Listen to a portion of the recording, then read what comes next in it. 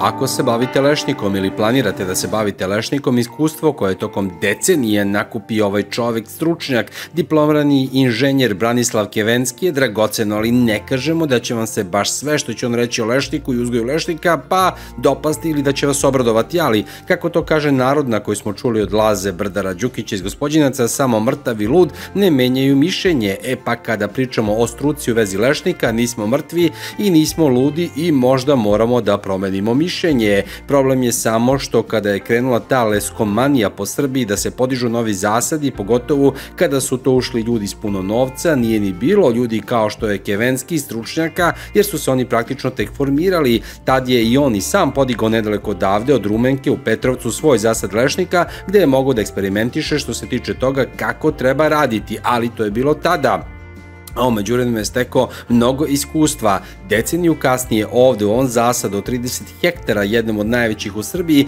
gde je plodna zemlja nasipana, to se vidi i iz drona, odnosno vidi se razlika između dva dela parcele. Kevinski je imao prilično dobru ideju gde smo to grešili sve do sada, kako možemo da ispravimo greške i kako da podižemo nove zasade u budućnosti. Ovo je inače zasad jednog našeg poznatog biznismena koji je u građevini i radi se o 30 hektara lešnik, od kojih je 20 hektara četvrta na petu godinu, a 10 hektara treća na četvrtu. On između ostalog vodi ovaj zasad i to je jedan od zasada gde je imao priliku da posmatra i gleda biljku, oseti kako diše, kako se razvija i ono što on zna, kome jedini posao u životu da obilazi zasade leske po Srbiji, verovatno ne zna niko, jer je čovek tome 100% posvećen. Pa da budemo konkretni i radikalni u pogledima šta je najveći problem. U Srbiji kada je krenula lesko leskomanija, niko nije baš nešto mnogo znao lešniku, najbliža zemlja koja je znala, koja je bila napredna je bila Italija i ono što je većina naših uradila, stručnjaka i voćara, je da ode u Italiju, često i da kupe sadnice i da tamo vide kako to radi italijani. Ali to nije bilo dobro, pogotovo u Vojvodini. Kevenski smatra da smo masovno promašili prvu stvar, a to je razmak između žbunova i da to mora da se polako sređuje, jer ako žbun nema dovoljno svetlosti, ne računajte na prinos. Kod nas u jednom momentu neko počeo da savetuje da se lešnik podiže na 4x4 metara razmaka. Rasničari se naravno nisu bunili jer su prodavali više sadnica, ali to je bila, kaže on, velika greška. Ne možemo reći da nije dobro u potpunosti, ali delimično se mora korigovati tehnologija proizvodnja lešnika iz Italije na teritoriji kako Vojvodine, tako teritorije centralne Srbije. Mislim da je tu najveći faktor koji ograničava primjenu te tehnologije jeste plodnost zemljišta, vojvođanske, vojvođanske, ajde kažemo, zemljišta koje je mnogo, mnogo humusnije, mnogo ima više hranljivih materija i u suštini proizvodi biljke koje su mnogo bujnije u odnosu na biljke koje rastu u Italiji. Da. A, što se tiče, što se tiče samog zemljišta u centralnoj Srbiji, tamo je zemljište nešto malo teže, sa manje hranljivih materija i tu su biljke manje bujne, tako da tu možemo da pričamo o, ajde kažemo, nekom manje razmaku sadnje u odnosu na razmak sadnje u Vojvodini. U Vojvodini pričamo o razmaku sadnje 6 puta 6 metara, konačno, znači 6 puta 3 je do neke 7. 8. godine, da bi se povećao broj jedinica po hektaru i samim tim i prinos i, i finansijski aspekt ovaj, od prodaje, da bi na kraju posle eliminisanja svake druge sadnice stigli do razmaka 6 puta 6, dok za centralnu Srbiju možemo da pričamo o razmaku 5 puta 5 koji je zadovoljavajući u suštini ako su zemljišta slabija, slabija što se tiče hranljivih materija. A 4 puta 4? 4 puta 4 definitivno se pokazalo kao veoma gusta sadnja, e, gde biljke posle neke 10-11. godine e, se spajaju. E, lešnik je biljka koja voli sunčevo svetlo i jedino znači, osunčani delovi biljke donose rod, tako da vi ako imate gustu sadnju, ako imate zasenčene biljke, vama se automatski smanjuje rodnost i biljke u nedostatku svetlosti traže svetlo i odlaze jako visoko, odnosno rastu u visinu i samim tim onda otežava neke agrotehničke ovaj, e, aktivnosti kao što su zaštita, rezidba i sve ostalo. Vama ako je biljka visoka 7-8 metara, tu je već efekat e, primene nekih e, agrotehničkih mera mnogo, mnogo reduciran. Prvi korak, prvi korak koji bih preporučio jeste da se rezidbom pokuša svaka druga sadnica se redukuje broj grana, da bi svaka druga ostala u tom nekom, da kažem, normalnom rastu, a svaka druga da se redukuje, a ako to ne bude dovoljno, vađenje svake druge definitivno. I mora da nažalost, 8 puta 8, jel te? Nažalost, onda 8 puta 8, ali biljke to vremena nadoknade. Mm -hmm. Vremena to da nadoknade. strašno, jel te? U prvi mah se čini da je dosta strašno i prve godine će biti sigurno kad se napravi taj radikalni, radikalni rez, tako da kažemo, desit će se pad proizvodnje, ali već recimo sledeće godine će biljke samim tim što će da porastu, da se pojavi veći broj rodnih grančica, da nadoknade taj nedostatak koji, koji su izgubili sečenje svake druge biljke. Sledeća važna stvar je sortiment. Sortiment koji se sadi u Srbiji je uglavnom išao ka krupnijem lešniku, recimo Enis je bila jedna od najpopularnijih sorti, međutim Kevenski tvrdi da je to promašaj mnogo sorata koje se kod nas forsiralo su stone sorte konzumne, dok suštinski lešnik i njegovu cenu pokreće industrija, što znači da nije poželjno da lešnik ima veliku krupnoću, jer za sadržaj krema nije bitno koliko je bio krupan lešnik, nego je bitan ukus, a okusniji je sitan i bitan je radman. Ovo je po njegovom mišljenju sortiment koji moramo da usvojimo? Sorte najviše zastupljene, znači kod nas e, sada o, su talijanske sorte. A, to su sve, ajde da kažemo, sorte tipa Tonda.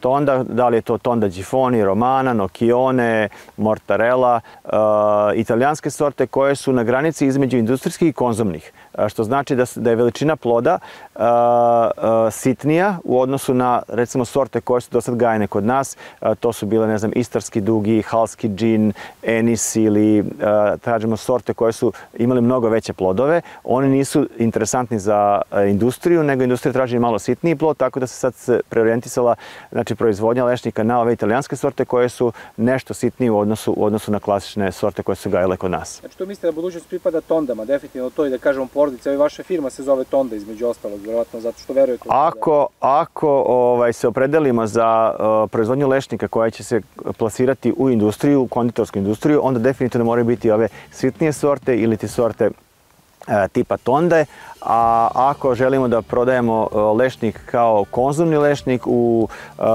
u prodavnicama ili nekim zdravim hranama, onda je definitivno zbog samog tržišta bolje da lešnik bude krupniji. Naredno pitanje to su đubrenje i prihrana. Lešnik ima specifičan način oprašivanja i resanja ima da je to ono što se vidi tamo na zimu, ono što se ne vidi to je da se koren ove biljke razvija i zimi, što znači da je ovde poželjno da se radi prihrana azotom i folijarnom mikroelementima s jeseniji. Inače, bacanje azota s jesenije za sve druge voćne vrste potpuno besmisleno i neko bi rekao koja je poenta i onako biljka završava vegetaciju, ulazi u mirovanje, što bismo bacali azot azot s jeseni. Epak Jevinski kaže da tu može da se napravi velika greška jer koren lešnika radi preko cele godine i na niskim temperaturama zemljišta. Inače ove brazde koje vidite, da vas samo podsjetimo, su tu nastale jer su tu prošli depozitori koji su polagali kompleksno mineralno đubrivo uz sam koren na neki 20 cm dubine. Nisu smeli da idu dublje da ne bi dirali žile. E,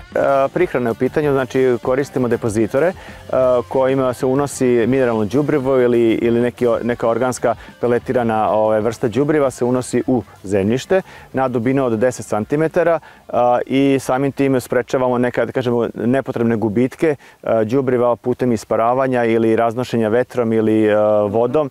Znači, de, definitivno se unosi uh, ovo đubrivo zemljište i to je znači to se naj, najbolje se postiže sa depozitorima.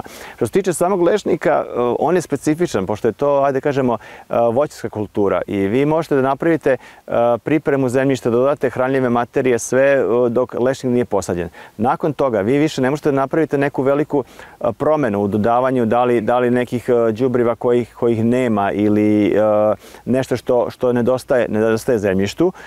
Jednostavno iz tog razloga što ne možete više da, da pravite neke velike ovaj, uh, velike agrotehničke zahvate u smislu uh, dubokog oranja, podrivanja ili nešto, samim tim biste uništili, uništili korenov sistem i, sam za sad bi patio zbog toga. Tako da veoma je bitna ta, da kažemo, priprema zemljišta pred sadnju i unos nedost, nedostojećih hranjivih materija u zemljište pre same sadnje. Nakon toga vi možete samo da korigujete otprilike neke ovaj nedostatke, ali ne da napravite neke radikalne promene u samom zemljištu. Šta njemu treba recimo? A, kao i na svim kulturama, na, lešnik traži, traži azot, fosfor i kalijum, to su neki osnovni, osnovni elementi, ali u fazi kada krene plodonošenje lešnika, kada krene lešnik u rod, tad se pojavljuje povećana potreba za mikroelementima. Mikroelementi su jako bitni i za formiranje cvetova, i za oplodnju, i za nalivanje plodova, za čvrstinu ljuske, čvrstinu ćelijskih zidova i otpornosti biljaka. Polijarno ili kako, pretpostavljam, mikroelemente? A, mikroelemente, moja preporuka je da se mikroelemente primenjuju folijarno, da. iz razloga, pošto i samo ime kaže mikro, da su to neke male količine i onda preko lista ih biljka najbolje usvoji, a problem jeste što ako bi se primenili preko zemljišta, upravo nevršenje analiza zemljišta kod većine poljoprivrednih proizvođača, vi ne znate šta se dešava sa tim elementima kada ih ubacite u zemljište. Da li automatski neki višak ili nedostatak nekog elementa u zemljištu blokira usvajanje tih mikroelemenata ili drugih hranjivih materija i onda jednostavno ne možete biti sigurni da li je biljka usvojila ili nije usvojila te elemente. Tako da te, ja da kažemo, elementi koji su u mikro, mikro uh, merama, uh, njih volim da primenjujem folijarno ili na taj način znam da, da je biljka sigurno... Dodavati azot, ne dodavati azot. Koliko dodavati azot, koliko ne dodavati azot, u kojoj fazi lešnika recimo? Azot je bitan, bitan element kao i u svakom razvoju i on je, ajde da kažemo, startni element. I svake godine u proleće, u proleće treba dodati ovaj, određenu količinu azota da bi se uh, ubrzao taj neki prolećni start uh, pr, uh, prvih, prvih, ajde kažemo, mesec dana. Ono što bitno razlikuje recimo prihranu e, lešnika u tim nekim prvim godinama jeste što od prve do četvrte godine vi forsirate vegetativni porast biljaka, tako da tu uh, treba dodavati više azotnih đubriva, dok fosforna i kalijuma đubriva možete dodavati samo u slučaju ako imate neki nedostatak u zemljištu i želite da, da, da napravite neku, da kažemo, rezervu, zemljištu rezervu, da bi biljka mogla kasnije to da koristi. Nakon četvrte godine biljke ulaze u fazu rodnosti i tad se to okreće u korist drugih elemenata, a smanjuje se unos samog azota. Ono što je bitno jeste da se kaže da recimo azot je e, e, potrebno dodavati i u tom nekom jesenjem periodu e, kada ima intenzivni rast korena. Znači lešnik ima intenzivni rast korena u proleće i u septembru mesecu otprilike, znači u toj nekoj jesenjoj fazi i tad treba dodati određenu količinu azota u miksu sa fosforom koji će da pospeši razvoj korenog sistema. Tako da u suštini menja se, menja se ovaj, korišćenje mineralnih đubriva u, kažem, u početnim fazama pričamo o većoj količini azota, a kasnije pričamo o većim količinama fosfora i kalima. Na jesen otprilike sve zavisi opet od uzrasta biljaka.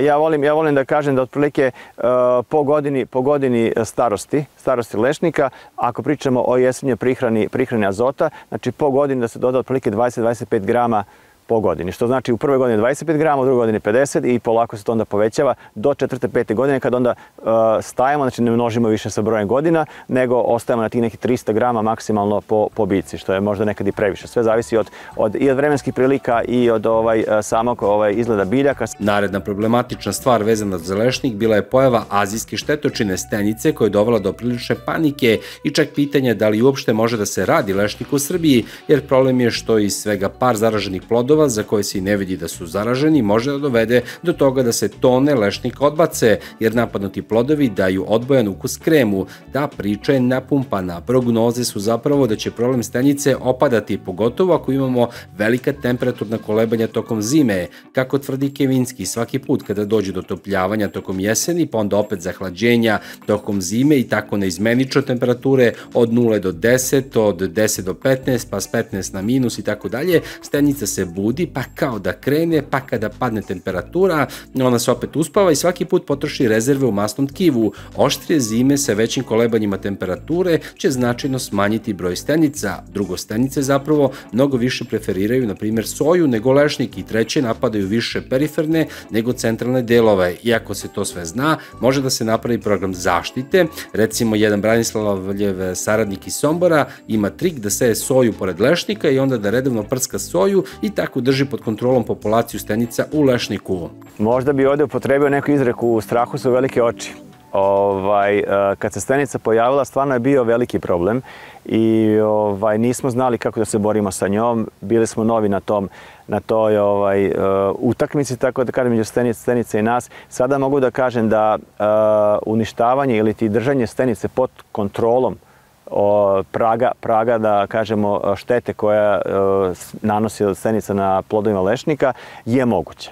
Znači, moguće je primjenom, primjenom hemijskih sredstava, s tim što uvek je, uvek je bolje ako bi se ta primjena vršila na čitavoj teritoriji poljoprivredne proizvodnje, pošto stenica ne obivava samo na lešniku, nego takođe se nalazi i na soji, nalazi se na kukuruzu, na suncokretu, na svim, svim kulturama se nalazi i u suštini i tamo nanosi štetu, međutim još uvek proizvođači nisu prepoznali tu štetu. Onog momenta kad se ta šteta prepozna i kad se budu tretirali i ove poljoprivredne kulture, mi smo problem sa stenicom rešili. -huh. Ja, sad, je, sad je najveći problem što vi istretirate vaš zasad, vi ga očistite, jednostavno ovaj, eliminišete stenice svog zasada, ali već za nekih 10 do 15 dana vama preleti stenica sa susedne njive, sa soje, suncukreta ili pšenice, preleti na lešnik i ponovo morate da vršite tretiranje. Tako da koliko to... recimo vi radite tretiranje ovdje? U zavisnosti e, od ovaj, e, pojave stanice, znači naj, najbitniji element jeste da se prati, prati ili da, da se radi takozvani monitoring stanice. Monitoring stanice se može raditi ili e, primjenom raznih feromonskih klopki ili se može raditi takozvanom metodom frapaža ili ti otresanja, otresanja grana stabala da bi se izbralo brojno stanje, brojno stanje stenice. I na osnovu toga se onda rade i tretmani. Ali otprilike, otprilike ako imamo onako intenzivna napad stenice, tretiranje se vrši i do 20 dana, na svaki 20 dana po jedno prskanje. I na kraju, kao što smo i započeli, dosta ljudi je ušlo u Lešnik kao investiciju, bukvalno kao da su napravili nove firme. Sve što se dešavalo proteklih godina, inflacija, poskupljenja, problemi u proizvodnji, kako je to uticalo s jedne strane na isplativost ovog posla investicije i drugo, šta možemo da očekujemo? U proseku ja ove govorim da Lešnik uh, rodi oko 3 tone uh, po hektaru u ljusci. Znači, to je otprilike neka, kažem, prosječna, prosječna količina. E, kod lešnika je specifično da e, rodnost varira. Znači, do sedme, osme godine e, ta rodnost se stalno povećava, da bi kad stigne do te tri tone, onda ova, jedne godine imate bolji rod, sledeće godine imate slabiji rod.